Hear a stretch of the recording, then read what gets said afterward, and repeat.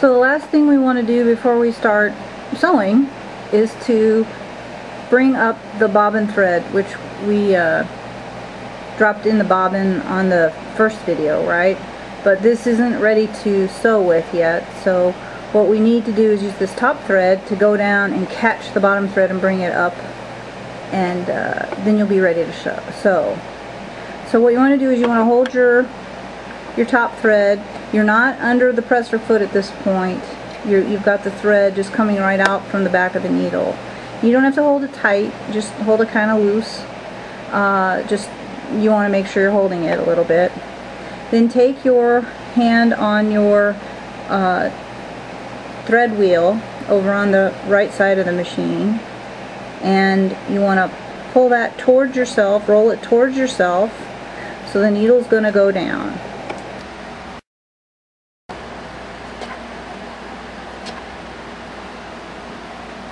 Bring it all the way down and bring it all, keep pulling it until it comes all the way back up. And then you can kind of see it's caught the thread underneath and you want to pull it up. Don't ask me how this works, it's kind of magical.